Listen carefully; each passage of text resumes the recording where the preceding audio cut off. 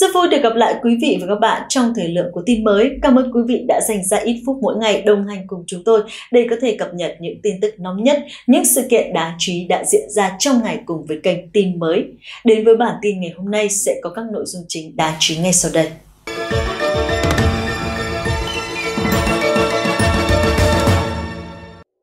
Bản tin lũ lụt Trung Quốc mới nhất ngày 14 tháng 8 năm 2023 Thưa quý vị, những cơn mưa lớn kéo dài đã khiến mực nước sông ở miền Nam Trung Quốc liên tục dâng cao và gây ra tình trạng lũ lụt tại nhiều khu vực miền núi.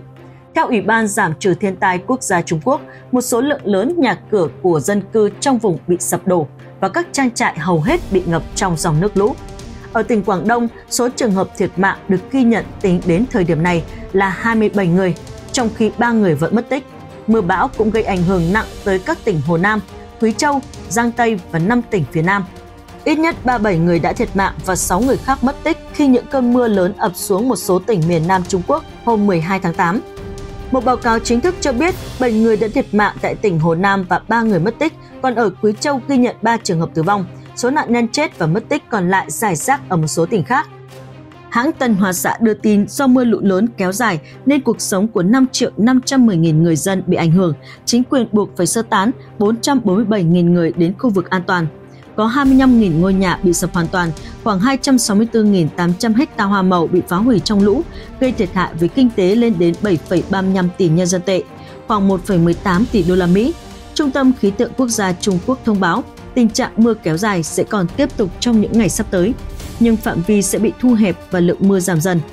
Tân Hoa Xã đã mô tả trận lụt ở miền Đông Bắc là tồi tệ nhất trong nhiều thập kỷ qua, trong đó thiệt hại nặng nhất là tỉnh Liêu Ninh, nơi bão tố hoành hành suốt những ngày 13 đến ngày 14 khiến nhiều con sông ở thành phố Phủ Thuận bị tràn bờ. Ngoài ra, mưa còn làm ngưng trệ giao thông đường sắt, đường bộ và mất điện ở Phủ Thuận. Gần 3.000 binh sĩ đã được điều động đến để giúp đỡ người dân ứng phó với thiên tai. Ít nhất 91 người chết và 111 người mất tích sau nhiều ngày mưa lớn và lụt lội ở miền Đông Bắc và miền Nam Trung Quốc. Đài BBC đưa tin gần 8 triệu người bị ảnh hưởng bởi lụt lội và hơn 840.000 người ở các tỉnh Hắc Long Giang, Liêu Ninh và Quảng Đông phải sơ tán. Chính phủ Trung Quốc hôm 9 tháng 8 đã nâng mức ứng phó khẩn cấp lên cấp 3 trước tình trạng lụt lội ở Liêu Ninh sau khi ít nhất 54 người chết và 97 người mất tích tại tỉnh này. Với mức ứng phó cấp 3, cơ quan giảm nhẹ thiên tai sẽ cử một đội công tác đến khu vực xảy ra thiên tai trong vòng 24 giờ và phân phát hàng cứu trợ trong vòng 48 giờ nếu thiệt hại được đánh giá khá nặng nề. Lũ lụt ở Liêu Ninh cũng khiến 1,8 triệu người bị ảnh hưởng, buộc 162.000 người phải sơ tán và hơn 6.100 ngôi nhà bị đổ sập. Thiệt hại trực tiếp về kinh tế ở địa phương này ước tính khoảng 8,5 tỷ nhân dân tệ, khoảng hơn 29.000 tỷ đồng chính quyền tỉnh Liêu Ninh đã chi 140 triệu nhân dân tệ, khoảng 481 tỷ đồng để cứu trợ, đồng thời gửi lều bạt chăn màn cho người dân đang khốn khó. Trong khi đó, bão lũ tại miền Nam Trung Quốc là do ảnh hưởng của cơn bão san hô đổ bộ vào đất liền. Trận bão đã làm chết 10 người khi quét qua tỉnh Hắc Long Giang và mưa lớn tiếp tại đó lại gây thêm hoảng loạn ở khu vực này giới chức tỉnh Từ Xuyên của Trung Quốc quyết định sơ tán 40.000 dân do nguy cơ tử lũ lụt, trong khi nhà chức trách ở các địa phương phía Bắc nước này đang ban bố cảnh báo vì nắng nóng như thiêu đốt. Reuters hôm 13 tháng 8 dẫn thông báo của nhà chức trách Trung Quốc nói rằng hơn 40.000 dân thường tại tỉnh Tứ Xuyên đã được sơ tán khỏi các khu vực nguy hiểm do mưa lớn liên tiếp chút xuống địa phương này, kéo theo nguy cơ lũ lụt và sạt lở đất nghiêm trọng.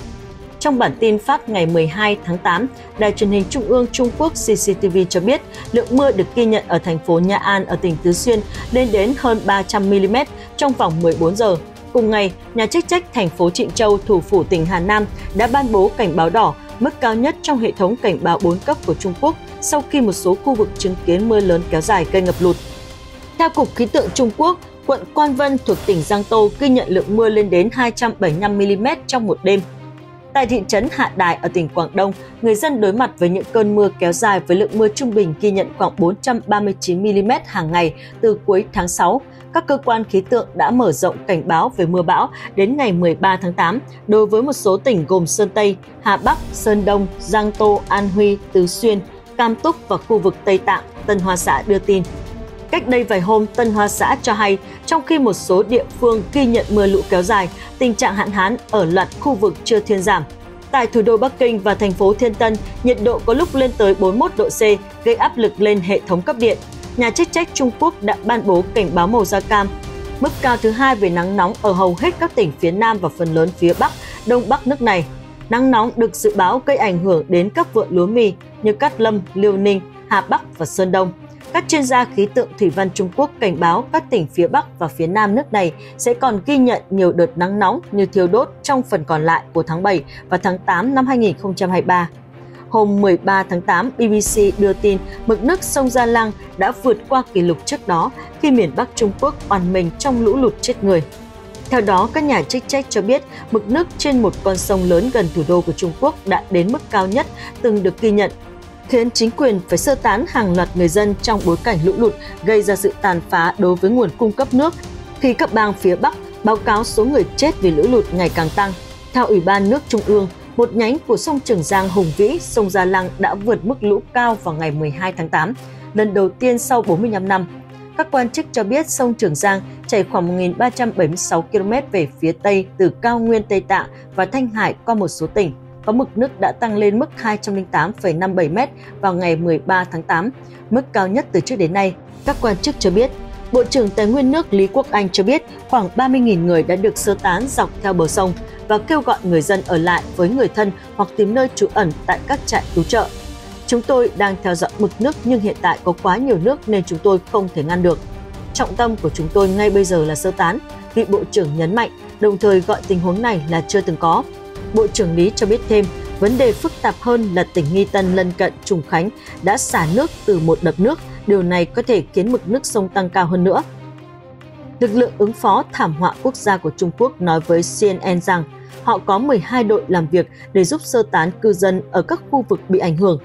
Thủ tướng Lý Khắc Cường cho biết nước sông tràn bờ cũng dẫn đến việc đóng cửa trường học và văn phòng, cùng với khả năng xảy ra tình trạng thiếu nước.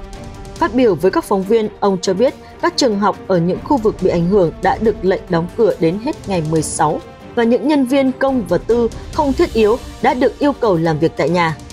Nhiễm Tiên Hồng, Phó Ban Chỉ đạo chống lũ lụt và hạn hán Trùng Khánh cho biết, việc tràn nước cũng đang ảnh hưởng đến ba nhà máy xử lý nước ở Trùng Khánh, đồng thời cảnh báo rằng người dân có thể sẽ phải chịu cảnh thiếu nước sinh hoạt trong vài ngày. Giao thông vận tải cũng bị ảnh hưởng với một số con đường bị đóng cửa do ngập úng và các phương tiện chở hàng nặng bị hạn chế đi vào các khu vực bị ảnh hưởng bởi lũ lụt. Các chuyến tàu điện ngầm ở Trùng Khánh phục vụ hàng triệu hành khách mỗi ngày phải di chuyển với tốc độ chậm hơn khi đi qua các cây cầu bắc qua sông. Trong khi ga tàu điện ngầm Trùng Khánh đã đóng cửa, Trung Quốc đang trong mùa mưa lũ, có thể kéo dài từ tháng 6 đến tháng 9.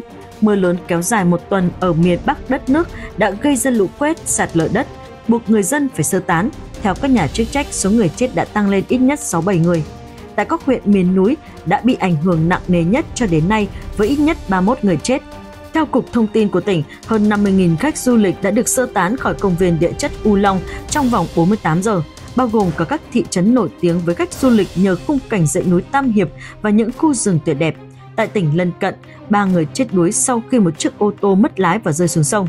Theo CNN, trong khi đó, một người đã chết ở Từ Khí Khẩu, 12 người ở Thiên Tân và 10 người ở Du Trung, CNN News 18 đưa tin dẫn lời các quan chức. Thưa quý vị, siêu bão san hô di chuyển theo hướng Tây Bắc, dự kiến đổ bộ vào bờ biển tỉnh Phúc Kiến, Trung Quốc vào đêm ngày 14 tháng 8 sau khi càn quét Đài Loan. Hiện giới chức tỉnh Phúc Kiến đã sơ tán 158.000 người, đồng thời yêu cầu hơn 32.000 tàu thuyền đánh cá trở về bến cảng. Hơn 40 chuyến bay bị hủy. Dịch vụ vận chuyển bằng phà và tàu cao tốc qua eo biển Đài Loan cũng ngừng hoạt động.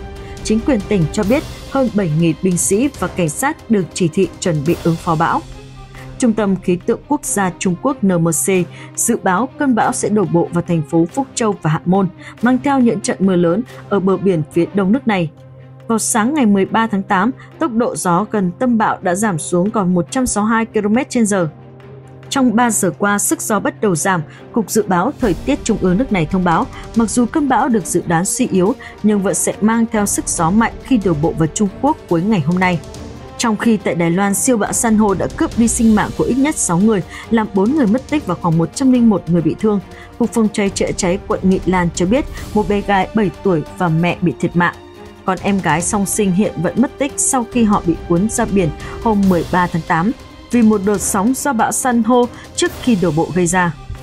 Một bé gái 8 tuổi khác sống sót sau khi được lực lượng cứu hộ cứu thoát khỏi con sóng từ một vùng nước cạn tại bãi biển phía đông bắc quận Nghi Lan.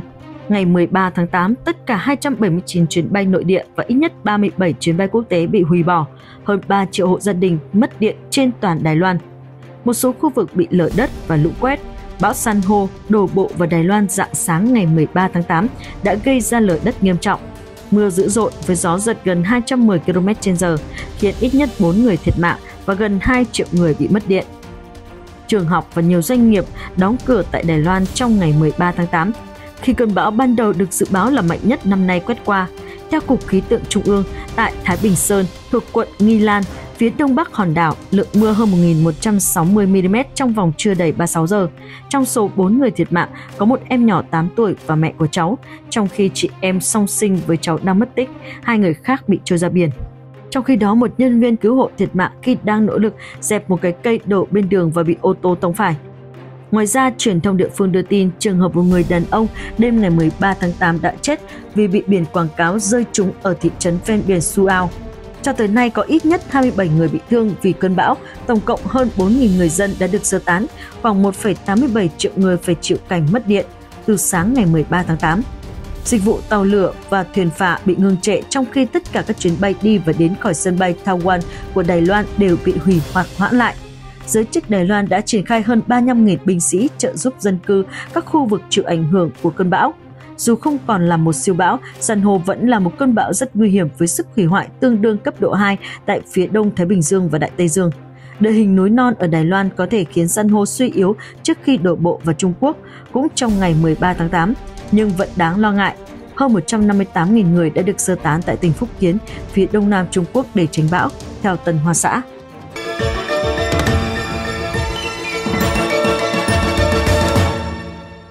Bản tin vừa rồi cũng đã kết thúc chương trình ngày hôm nay của tin mới. Cảm ơn quý vị và các bạn đã chú ý theo dõi. Mọi ý kiến đóng góp của quý vị hãy để lại trong phần bình luận video này để chúng tôi có thể kịp thời giải đáp. Còn bây giờ, xin chào và hẹn gặp lại.